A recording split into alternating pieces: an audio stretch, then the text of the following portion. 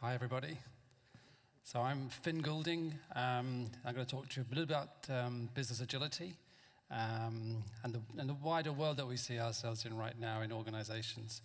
Um, a little bit about myself. I've been a CIO or a CTO in many big branded companies, um, worked in different parts of the world, in, um, in Europe, of course, and, uh, and the Americas, uh, very much working in financial services and then in dot coms and all sorts of industries. And now I'm in my own startup, which is the Flow Academy. We specialize in fixing transformations, starting transformations. We do workshops, we help executives. And we also do this thing which is called a craft beer chat. So you buy the beer, you can chat to me, and I'll give you some advice, and that's all it costs is just a beer. Um, in my experience, I see many organizations have very similar challenges. They, there's lots of complexity. Um, we see external threats, of course, particularly on the security side.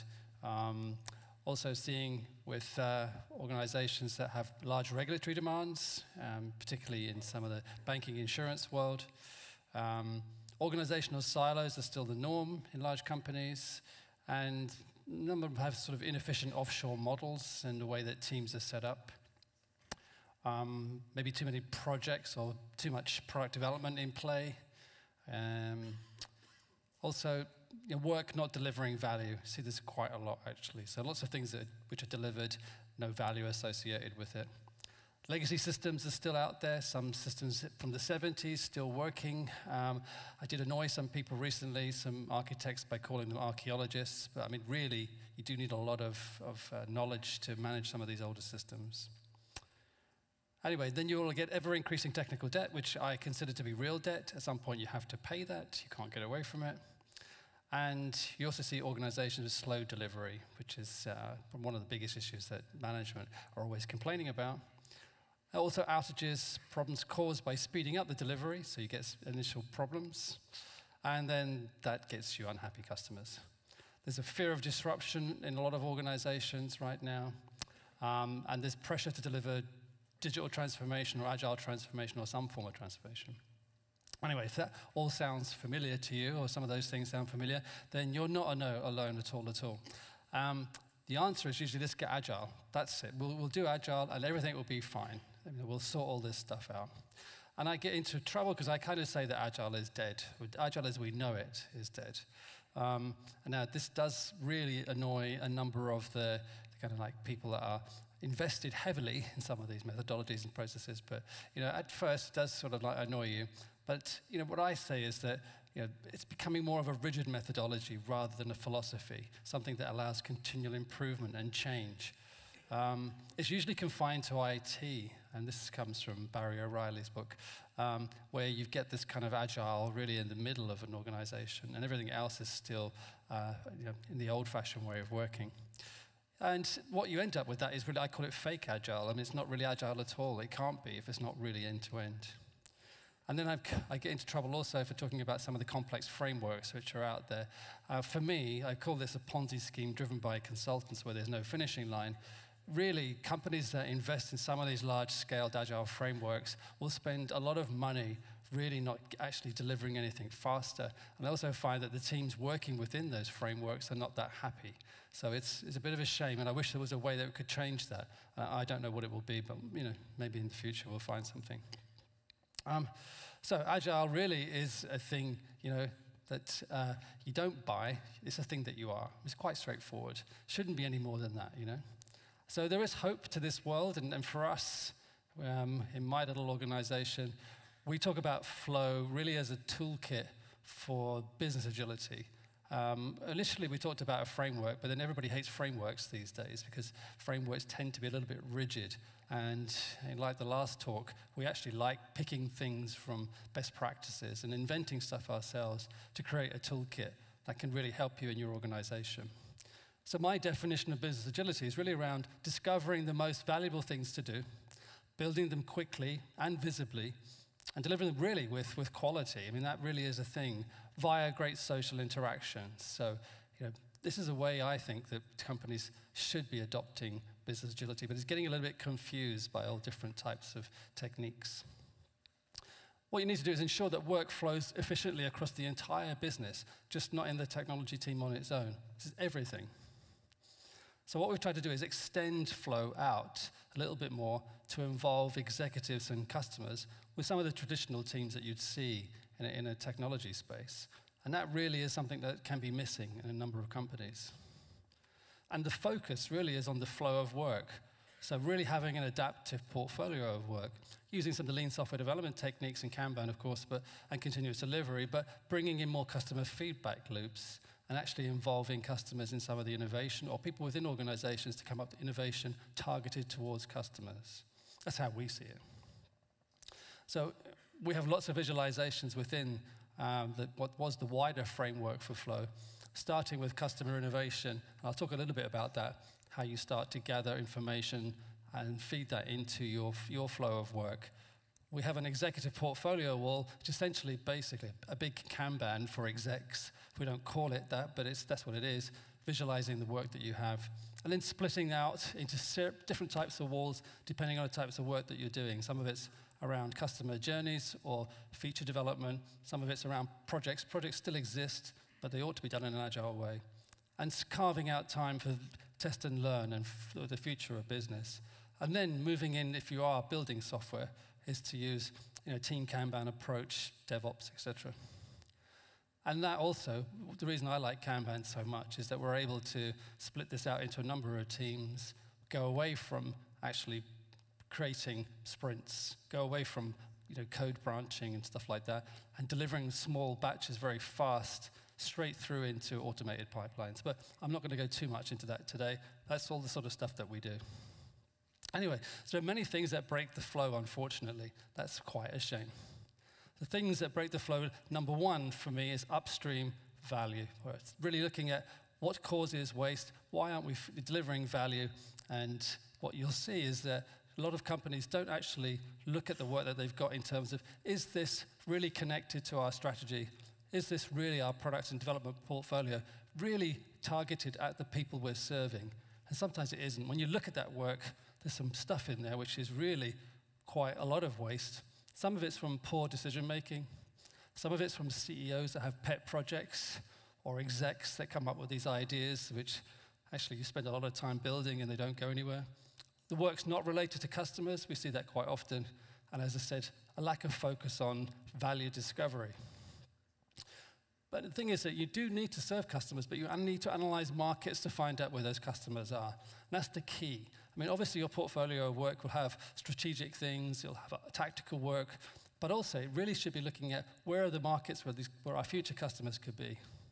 So we use a, a, technique around market segmentation, a little bit, more, I'd say, a little bit more ahead of what other organizations are doing.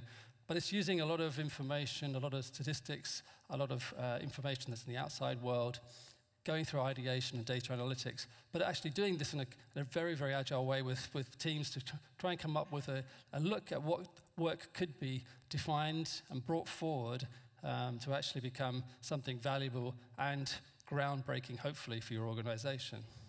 So, for instance, this is what looks like uh, from an insurance perspective a customer innovation wall, lots of new markets that they may not be focused on. In this industry, they're focused on very traditional markets, very much age demographics, but there are lots of new markets appearing, and then you can target your products and services at these new micro segments or markets itself. Um, this is another one for an imaging company, actually trying to help them move out of their offline world into an online world and looking at where their customers of the future might be. A lot of that's obviously online, um, and actually, it's quite fascinating when you do this with a team of people, which is this is one that we did uh, last month in the US. It really is very collaborative, and people have great ideas. We just guide them along towards coming up with these ideas and solutions. But it's very, very interactive, and it's very powerful when you come up with some great ideas that you hadn't had before you went into the room. So we use this kind of model here where we, we say, well, what does customer success look like? Can you define what it looks like? And do you already have some assets in your company? There are things that, that, that were created that have gone quiet. People don't actually, maybe they were a prototype that didn't actually get developed quite further. But those assets could be used and brought to bear and not actually build something new. But what you're trying to do is target your innovation at these markets and these customers, and you're looking for ecosystem opportunities. So, the wider world, of other organizations which are adjacent plugging into you. So, what is an ecosystem? Well, this Airbnb. It's quite, quite straightforward, where you have room guests and room hosts, but lots of businesses have grown up around it. So, lots of organizations that are helping you to market your room, actually, how to make more money from it, um, training you in that particular way of working. There are companies which will do remote key management, open the doors for you. Lots of businesses have grown up around the outside. So if you can create an ecosystem around your company, you can really extend your value. That's what it's all about. It's spending some time doing value discovery to ensure the teams are working on the right things. We often find that teams are not working on the right things. Okay, things that break the flow. Number two project management offices, PMOs. Um, sometimes they can be very inflexible and ineffective, in my opinion. This is where the PMO managers walk out of the room, by the way. It's like they usually leave here. And they don't really challenge end dates. They kind of look at this from a perspective of, you know, we love red status. We love calling that out. We hate test and learn. And really prefer projects over product development. And that's something that's not very good in an agile world. It's not very adaptive. So we definitely need something better more collaborative, much more adaptive. Something with extreme transparency that you can't hide away in reports that people don't read. From that perspective, we like to get people to bring out their dead. So you're probably wondering what the hell this is. This is actually bringing out every single thing that the company is working on, every single project initiative, and putting it on a wall so you can see what it looks like. So that's our executive portfolio wall. We call it executive portfolio wall because we want executives to come.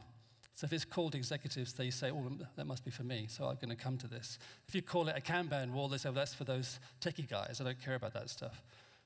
And we, we really just visualize all the work that's going on in an organization, and we try and get it into a structure whereby we can take it through some sort of challenge process. You can have a number of swim lanes which might be split out by different initiatives in your organization. Um, this is an actual one from a, an insurance company. It has a lot of stuff on it. This is after they cleaned it up. But initially, they had about 500 projects and only 100 people. So it's quite easy to say to the executives, there are 500 things that you're asking the team to do, and you only have this 100 people. Something has to stop. So you have to take stuff off the wall. That's what it's all, that's all it's about, really. There's another smaller one. So they don't have to be the same. They're slightly different swim lanes, slightly, slightly different way of focusing on. This one has a lot more focus on transformation and regulatory work. You give them their own lanes. But the same principle applies. Let's get everything on the wall. Let's look at what's there. Can we account for it in terms of customer or strategy or keeping the lights on? And therefore, it's a valid piece of work. Okay, it gets to stay on the wall. Otherwise, it gets taken off and thrown away. Even risks and issues in an adaptive way can be visualized and actually dealt with in real time. Again, this is from a, from a bank whereby they visualize the risks and issues, and a photograph of this wall is accepted by audit teams because it's time stamped. It's not rocket science. I mean, it really is a case of looking at this from a perspective of can I visualize these risks and issues, and can I have a conversation with important people around that wall and make decisions? That's what I like about walls. They are really a venue for business teams and technical teams to interact. And if you can get a corridor, it's even better. That's sort of like people have to walk through it all the time, and they see this stuff. I've even known executives and CEOs late at night coming along and looking at everything on the wall, to, what's that? And actually taking stuff off the wall when they disagree with it. And they never do that in reports, but they do it in a visual way for some reason.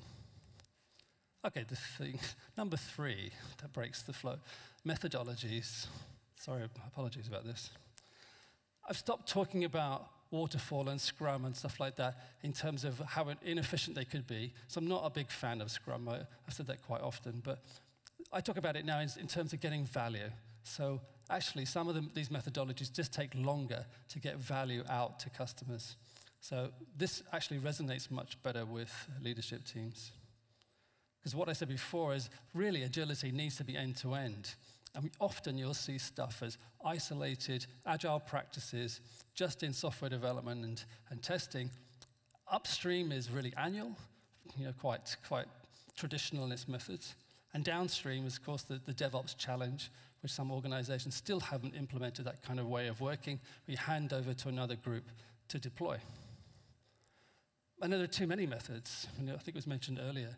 Um, somebody called this the agile industrial complex, maybe 40 plus. Uh, even flow is considered to be one of those. Um, I wouldn't say it is, but anyway. Um, for, 40 of these things is just way too much. I just think, from my point of view, flow, I always say currently prefers Kanban because if something better comes along, I think it should be replaced. If, something is going to be more productive, more fun to use, more logical, it should replace what we are using right now within Flow. But at the moment, I love it because I love the limiting work in progress. I love using pull mechanisms. Technical teams really should do this more often. But if you do it in a portfolio way, you can say to your business colleagues, we can't accept this work in. We don't have the people. So using this WIP limit kind of concept at a portfolio level is quite something else. We do it as teams building software, but try and do it at a larger scale. It makes a lot more sense. And it does allow business teams to actually change their mind before you actually start working. So anything that's not been pulled into the technology team can actually be replaced by something else of more importance. And there are metrics, I think, which are key. So flow efficiency is important, and particularly around lead time, cycle time, and wait time. These are things that should be measured and actually to allow you to make your teams be consistent, not necessarily to say they're doing anything bad. I hate this is when it's used to say, oh, this person is slow or that team is slow. Well, that's not, the, that's not really what you should be saying. These teams need some help. I need to give them some resources. I need to give them some education. We're going to make them uniform like everybody else. And killing that wait time is important. The wait time usually happens between silos, between teams. And that's why bringing them together is important. So, anyway, if you can get your cycle times down to two days, this is the ultimate, in my opinion. I think it was said this morning by Elizabeth small batches. The smaller you can do your work, the better. And this is the beauty of why you need to actually deploy functionality or change in small batches. I apologize for the artwork. Uh, PowerPoint and Google Slides are not that great for doing this kind of diagram, but, but in fact, what it looks, what you'll see here is quite obvious. The smaller the work, actually, you're reducing the risk, and you're actually getting value much faster. Plus, you can see value as well. You actually start seeing it quite quickly um, as it's hopefully returning on your investment. And some teams have got quite sophisticated around value based decision making on features or on requirements. In other words, if you can put a value against every single thing that you're actually working on, you know, you may not go ahead and develop everything that you've been asked to do because there are more valuable things in another project waiting to start. If you use that kind of way of working, it's a little bit advanced, but I've seen some teams do this. So you end up in the situation where actually what you're doing is only building 20% because 80% of your customers are going to actually use it. So you don't need to build the other stuff. So why build all those things, those widgets, those you know, interesting things that are not going to get you any value back? And with those metrics and that feedback, you can get to that situation. Plus, I love this. If you're into these small cycle times and it's very uniform, your estimating is really easy. Just count the freaking cards. That's all you need to do. Count the cards. And how many people have I got? Okay. I think I stole this actually from uh, David Anderson. But anyway, it is a quite straightforward thing to do once you get to uniform cycle times. The trouble is, I find that when you're looking at the way that people define work, it's not done like that. I mean, if you're using stories, some stories are huge, some are really small. Very hard to do this kind of estimating. That's why I think it's important. And get delivering value, not quantity. This is quantity is not really going to be moving the dial. Okay, number four, things that break the flow. So we're getting more controversial now. Now we're talking about people.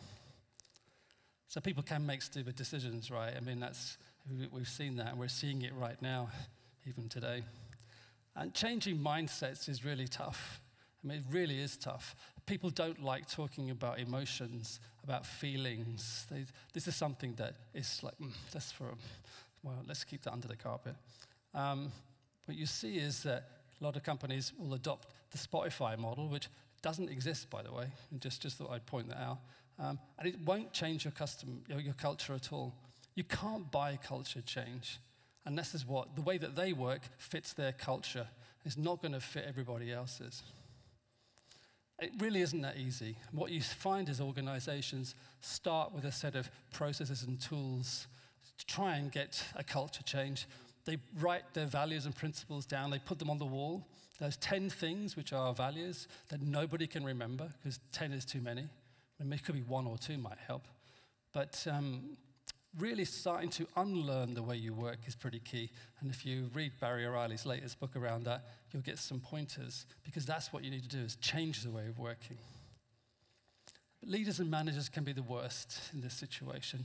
The frozen middle, as you probably heard before, people that are scared to not you know, admit they know something.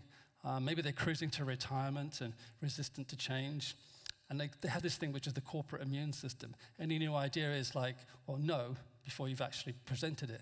And that, for me, is quite sad. And some leaders prefer command and control in their organizations.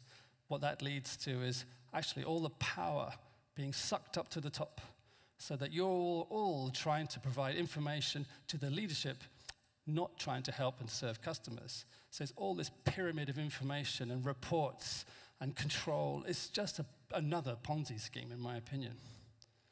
So, what about servant leadership? This is quite de rigueur, but the trouble is, I am not sure that's the right expression. I think what it should be is more about team coaches. I actually think that the people that manage teams should be coaches, whatever size of team. Actually, learning, excuse me, learning coaching skills can really propel your career. I mean, and all you need to do is start using open-ended questions, not telling people. Just keep asking questions. They'll eventually get there. Coaching is really easy. There's no myth what you're doing is trying to get that information out of the person that already has it. Anyway, but at a minimum, what leaders should do is remove blockers for the team.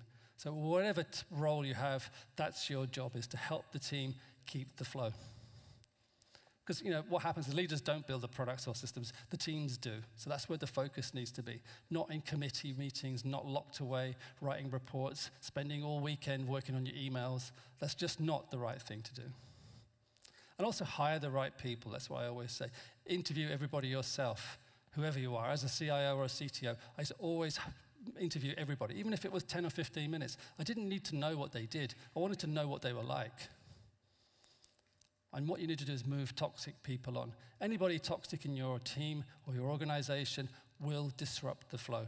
And this is the mistake I've made in the past, not taking action in this space giving people six or seven chances. It's one of those things you really sometimes have to do for the betterment of them. And a toxic leader can have a much wider sphere of influence, which is a challenge. So, again, this is sort of the thing that can disrupt the flow. That, those kind of behaviors are really not acceptable. I like to connect with my teams. I always suggest a good way of working. You're all too young to know Monty Python. But anyway, it's something that I normally do is sit down with teams and say to them, what do we do which is stupid in our organization? And you get great feedback because we do stupid things in organizations, and you need to get that feedback that's not filtered through the hierarchy. And what you're looking for is to promote improvement in your own space. And I advocate forming flow teams. For me, this is like, I'd say this is probably the most important thing and also one of the most hardest things to do in an organization really having real holistic teams with no inefficient handoffs, going beyond the DevOps or SRE, actually having people in the teams which are not necessarily technical, dedicated to those teams, structured in that way. And some people are calling this DevOps 2.0. Um, for me, I've kind of been in this situation where I've been arguing with Gene Kim about this, but in a, in a nice way. Because this thing is that you know, DevOps needs to get wider, it needs to actually include more roles. And I'm not sure that 2.0 is the right expression. I, obviously, I think flow teams is better, but you know, I've been an advocate of this kind of way of working for 10 years. It really is a, a, you know, a mindset and a way of working. It's not a set of tools or roles, DevOps. If you have a DevOps team, it's really just an ops team. I'm sorry for all of you in a DevOps team right now, but that's all you're doing. You're not developing stuff. And if you've got a team that actually is developing new features and functionalities, a holistic team, then you have a flow team. Now, what you can do is also, people always say to me, well, I can't put all the people in the teams. Well, I understand that, but you can allocate people, and I use this W to show you've got three core teams, predominantly dev, test, and ops, but what you're doing is supporting them with people from the wider organization. Not just business analysts or product people, but security, UI, UX, marketing, risk, finance, even HR. HR needs to be a part of this, and they're often missing and off the pitch, as far as I'm concerned. So flow teams are really like a collection of startups with people from the entire business, but you don't have to have the barista, you know, the foosball and the free food, which you'll find in startups, um, or even some of the larger organizations that give you free food to keep you working as many hours as possible. But really what you're looking to is have holistic teams, essentially. But I said, where is HR in all of this?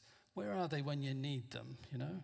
Um, what I'm seeing is there are very much a whole bunch of missing roles in HR these days and really around most of them are coaching type roles coaching for performance coaching for leadership coaching mindsets cultural champions people in their organization that understand agile if agile is a way of working why isn't the expertise in an hr team it kind of baffles me why is it always in the tech team doesn't make sense and in some companies hr has just become really administration which is a shame because I've got a lot of good friends who work in that discipline who are not allowed to do some of these things. They actually learn how to do organizational design. They even learn about occupational psychology, but they never put into practice.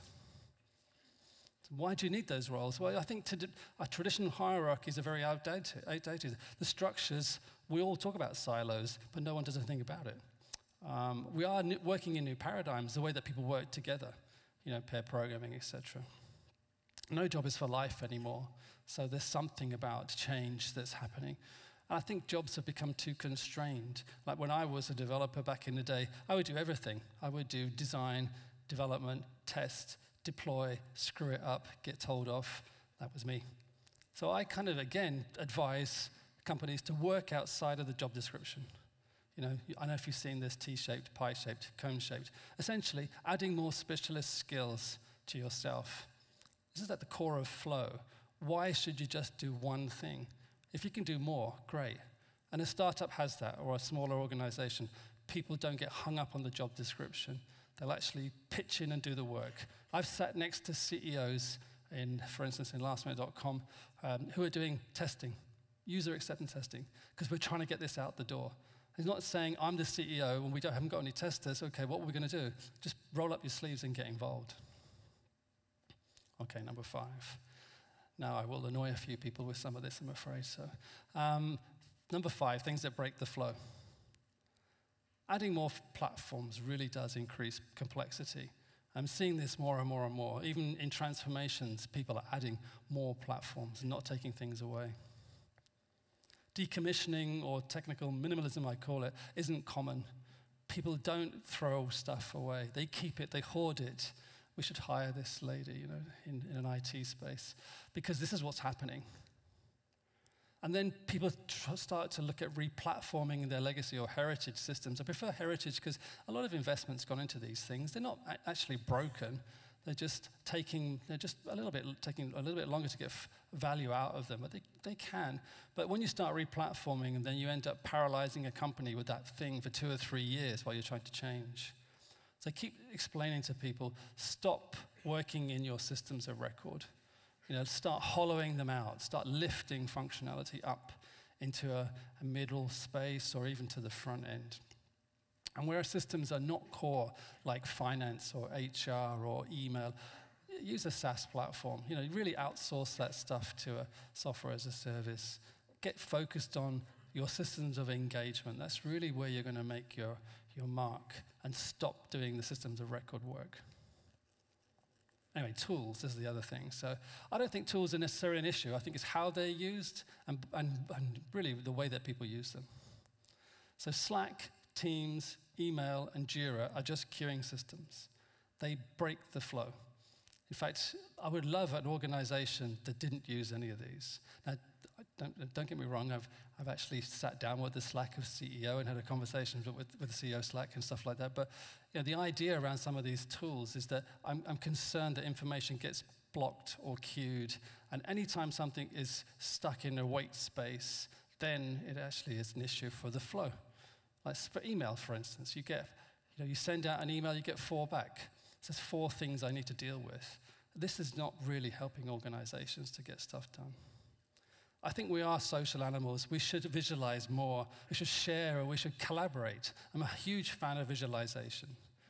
And actually, I'm not the only one. The, the police are also fans of this. I don't know if you've ever seen when they do their crime analysis, trying to find out who done it. They visualize everything. They put connections between suspects and people that are not suspects, and locations, etc. They're trying to work it out and connect everything. So they've, they've been visualizing for a long time. So I've only stolen some of these ideas, really. But I advocate this is a leadership stand up, for instance, where to replace monthly meetings to meet 15 minutes a day. You probably can't read it. Probably, this is an easier, easier one to take a photo of. So, essentially, what you have is the swim lanes are the goals of this particular team. So, their, their goals are around people, transformation, engineering, etc. And a very simple Kanban, a backlog to do, in progress, done. The only difference I added was a sin bin the, the sin bin is uh, if your little your ticket has been on the board for too many days, you get into the sin bin. Some people don't like to be. Some people love to be in the sin bin, by the way. But, but if you take your leadership meeting or team meeting from once a month and do it 15 minutes per day, it really allows you to focus on the key issues and not have to have reports, actions to follow up on. People come to meetings, they don't come to meetings. It's very visual. People say, well, what about my remote teams? Well, you can use Cisco WebEx, you can use, you can take a photo of the wall and send it to everybody. It's quite straightforward. But I do believe that that's what you should be doing. Um, of course, team Kanban walls are quite normal. I know, I know whether people really actually, I look at these that, that often, but really good ones have got a lot of the technical debt in one of the lanes as well. So in this one, all along the bottom are things that need to be fixed in this particular application. I better move quickly in case anybody recognizes what it is. Um, but also, teams don't visualize dependencies. I've been working with one organization looking at in a transformation program the actual dependencies between the, the, the, big pieces of the work they're doing and the platforms that are actually going to be modified. And that's quite visual. It shows you that there's a structural issue with delivery. And I'm, I'm a big fan of, of taking stuff like this and getting it out customer feedback as well. So visualizing customer feedback, those feedback loops I mentioned in the middle of, uh, or the start actually, the presentation um, around customers. When you can get information back from your social media or from contact centers, you can also start to address this as units of work, prioritizing the backlog of issues. Some things actually um, don't require any change whatsoever. This is where your customers are complaining about stuff, but perhaps it's price and you're willing to take that. You're not, you're not going to address it. It doesn't require a system change. But some customer feedback from these areas do actually need to be addressed. Sometimes they need to go to a front end team or a back end team, um, or they actually become a, a portfolio item on the wall. The key thing is, though, what I like is that if you fix something that a customer has complained about, is to get that person to call the customer. What you'll get then is the customer becomes a big fan because you've called him and said, I fixed the issue that you complained about. It's very, very powerful. I, I mentioned risk initiatives already, but uh, this is really underplayed. We actually think agile risk management is a thing. We've been writing some papers, myself and Haydn Shaughnessy, the co author of our book. We've done this together, and we think there's something in here. And actually, people that work in risk and audit departments do want to be more agile. They're not against this type of way of working. For teams, also, like to visualize the history of blockers. So anything that's blocked a team and, and their flow of work, you can capture it. You can see what kind of impact it had, what workaround was used, and what the, the resolution was. But somebody new joining the team can see what blockers you've had in the past. This, you quite often get a theme here of blockers. They tend to be environments or security, stuff like that, which um, it shows you where you're going to be having to make some effort to keep things moving. I couldn't show you the actual wall because it's got confidential stuff on it. I also use, um, this is our sort of cool wall. So this is to get feedback from the team. We've changed sub-zero down the end. We've changed it to awesome. But we get teams to tell us what's not so great um, in their world at the moment and what is good.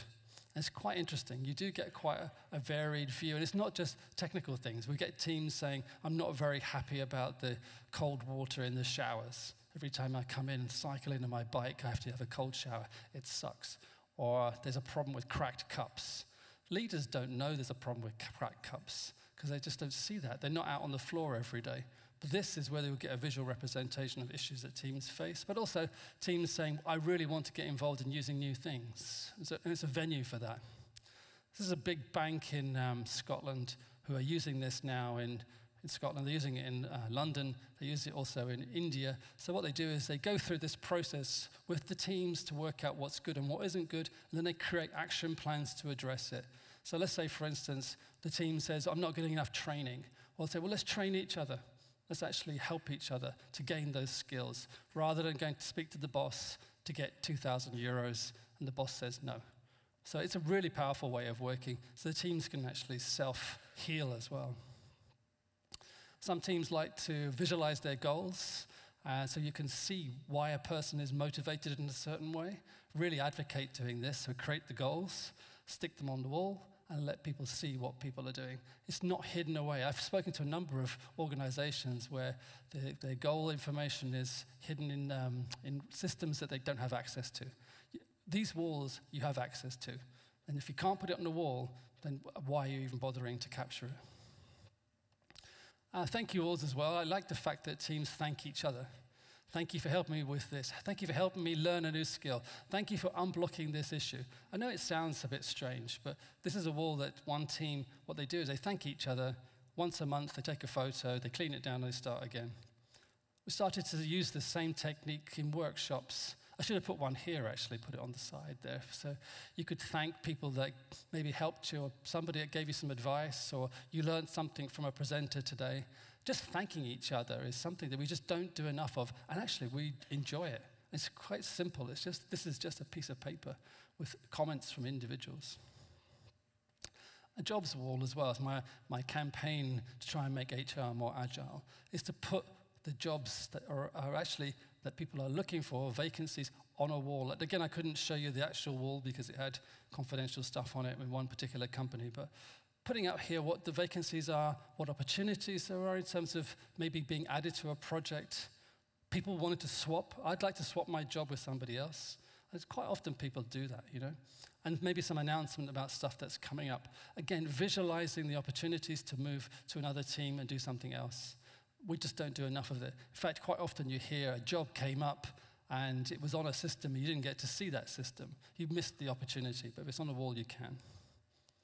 Anyway, you're probably getting the idea that visual, collaborative ways of working, for me, are really at the center of flow. And I think that's what's more important, is that kind of social interaction, and trying to get stuff out of systems, out onto the walls, and people to share. I really believe that organizations can succeed via a great culture driven by this social interaction. And what people end up doing when in this kind of positive mindset is they continually improve or they create new things. I get visualizations sent to me nearly every week from a particular organization that we've worked at. Say, oh, look, we've created this. What do you think? I just add it to my toolkit. Fantastic. Thank you very much. Or help them tweak it.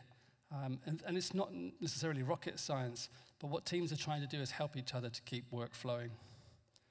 What you're really trying to do is get to this point where your teams you know, they feel trusted. They themselves become loyal. In fact, they become advocates of your organization. What I found fascinating, what I've seen in some companies, is that when, a, when this organization has, or an organization has great advocacy, where people love working there, they start to wear the colors of the company. So if you work in a company that has colors which are green, you'll see people wearing green shirts. Or I worked in lastminute.com, which was pink, and everybody wore pink shirts. You might be surprised, but you can take a look around your office, you'll start to see, and if they're not wearing the colors of the company, then maybe you have an issue somewhere in this particular line of, uh, of this goal. Anyway, so why is trust really important? I talk about this quite a lot actually. When you have an environment where trust is high, where there is team safety, where you can make mistakes, you can make issues. I was working with a, a tax organization for a country last week. They had a major issue and they learned from it. They didn't blame each other. What happened? How can we not see that again? Fantastic. They moved on. But if, if you have that kind of high trust and you allow people to be bold and brave, you allow them to do test and learn, etc., you will get innovation. More often than not, I see organizations with low trust um, and, ver- and won't allow people to make any bold or brave moves. Then you'll have this fear culture. What you're trying to do is foster innovation. And it's, again, one of these techniques you can use to try and discover where you are. Hopefully, you're not in the bottom left hand corner. Anyway, so the key takeaways from this conversation. Um, all right, the key to successful flow is really to challenge yourself to fight for simplicity. Flow shouldn't be complex. I mean, if you think about it, flow should be a flow. Why do things go like this? Why do they get stuck? And it's because of potentially processes or issues or um, structures or traditional ways of doing things. And trying to get things simple for me is pretty important. Leading in a visual environment where team members can be really socially interact in a creative and a supportive way is fantastic. I didn't even show you half the kind of pictures and, and screens that I have. I've got lots and lots of them where they are, um, for me, some great sort of venues for people to work together. And some of the techniques have been evolving and changing. I've now seen around about, about 20 different portfolio walls, all structured differently, all designed by the teams themselves. And what happens is people say to me, Can I have a portfolio wall template, please? Well, there isn't one. It's your context. It needs to fit your context and the way that you work, not the way that I think you should work. That's why I find frameworks and methodologies a bit too rigid. Creating simple pathways to allow teams to take small steps to delivery. This is fundamental, I'd say. Small steps to success really is the way to do it. So some people say to me, well, how do we get this big transformation in our organization? What should we do? And often you see people rush off and create a big transformation pro, you know, program office, or then they get millions to spend on projects and to change stuff. I say, no, no, no, start really small. Start with what we call a lighthouse project. Pick one thing of value that you want to do for one team. Get that team to actually work together and learn these techniques. Let them evolve. Let them find out what the challenges are. Once you've sorted that out, then start to scale from there. Even though you know you see companies putting in you know automated pipelines, they're sticking in cloud, but they're doing it at such a scale that it overwhelms the entire organization. And what happens is that people start to push back. It has to be done in small steps. And in the same for software delivery, the smaller, the better, the easier to consume, the easier to fix, the easier to change. And focus on trust to engage the, your team providing safety and actually does drive innovation. That, that's not easy to do. I often see people not really being able to attempt this without some guidance and some assistance. So I'm a big fan of having coaches in the organization that can actually do real time retrospective how did you feel about that? What did you think about this? Why did that happen? Or calling out bad behaviors from leaders, leaders making, you know, maybe overriding the conversation, stopping people coming into the, the conversation itself. That kind of stuff has to be done by somebody being kind of like slightly away from it and empowered to give that feedback real time. So for me, I think if you can get to that level, you really will start to make your organization actually flow a lot better. Anyway, feel free to contact me. I, I, love to speak to individuals. I do like to find out how organizations are dealing with their, um, their challenges in transformation or methodologies or frameworks or Spotify models or whatever. It's great. I'm talking to a company at the moment that's um, in the middle of a massive SAFe uh, implementation and it's not going well. They want some advice and guidance. I'm, I'm not sure I'll be able to help that patient, but we'll, we'll give it a go. You never know. Maybe I'll be here next year telling you how great SAFe 5.0 is, you know, and it's, we've changed the name to Flow 5.0. You never know. Um, not sure that's going to happen, but anyway. Um, but you can, you can find me on, on LinkedIn or, or, or Twitter. Um, but I also do, I do encourage people to just reach out because I think we're all trying to help each other. I mean, it is a, should be a collaborative world. And that's it. So thank you very much.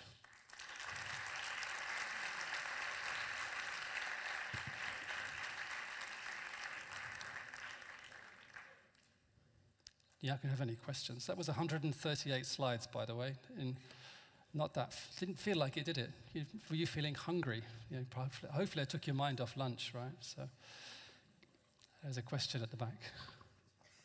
Well, thank you for the presentation. Um, I will just have one question how would you summarize the difference between your vision of the flow and the Ponzi Pyramid 5.0, that just focus on business agility and use exactly the same vocabulary as you are?